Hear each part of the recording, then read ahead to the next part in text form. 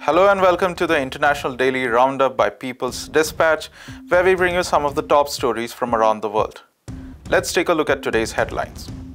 Vaccine maker BioNTech to construct mRNA factories in Africa. Sudan's revolutionary forces demand complete civilian rule. Cuba rejects US interference after new evidence in right wing 15N march. And Harvard University student workers go on strike for a fair contract. In our first story, German company BioNTech has signed an agreement to open Africa's first mRNA vaccine manufacturing plant. It will partner with Rwandan government and Senegal's Institut Pasteur de Dakar. Construction will begin in 2022 with an annual production capacity of 50 million doses. Production capacity will be gradually expanded beyond COVID-19 to include vaccines for malaria and tuberculosis. According to the United Nations, African countries import 95% of their pharmaceutical and medicinal products. As of now, South Africa, Egypt, Tunisia, Ethiopia, and Senegal have varying production capabilities. Africa has received 128 million vaccine doses through COVAX so far.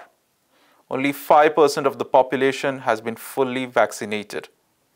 Recent reports have also shown that per capita vaccine supplies to the G20 countries has been 15 times higher than those to sub-Saharan Africa. The mRNA molecule for the COVID-19 is currently only being produced in the United States and Europe. BioNTech will install a containerized manufacturing unit in Rwanda.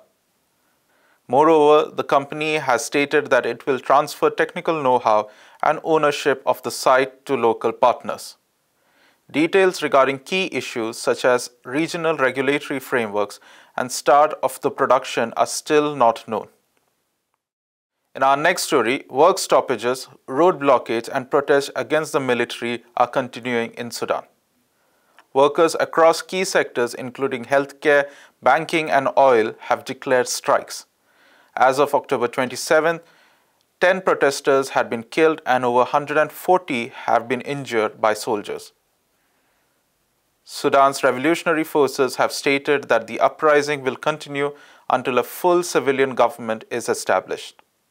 The Sudanese Professionals Association has also stated that a return to the civilian military transitional government will not be enough to end the mass protests. The body was a result of the compromises struck by the center and right forces after June 3rd massacre. The government would rule for a three-year interim period until elections in 2023. The Sovereignty Council, which was headed by General Burhan, was the highest body of the state.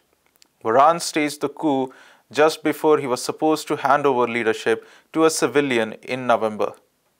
He has stated that he will replace the civilian leaders with a technocratic government.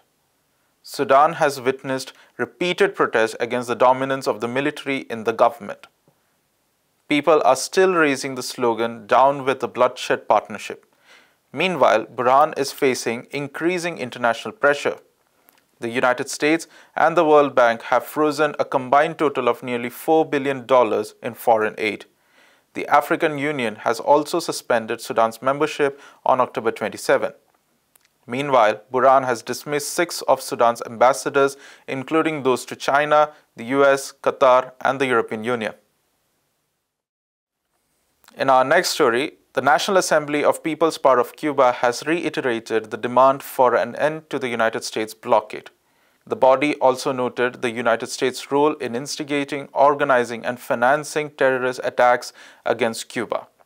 According to the Cuba Money Project, the U.S. Agency for International Development, or the USAID, has spent over $6 million on subversive projects against Cuba.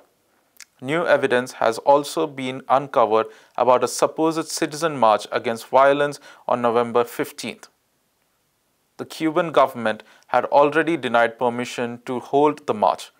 An official of the Communist Party of Cuba presented a leaked recording of one of the march organizers, Junior Garcia, on October 26. In it, he was talking to Ramon Saul Sanchez, who is based in Miami in the United States. Sanchez is affiliated with terrorist groups responsible for over 90 attacks on Cuban facilities. He could be heard offering logistical support for the march and coverage in US media. The march also received support from US lawmakers and US funded groups. A top US official also threatened fresh sanctions if the organizers of the march were prosecuted.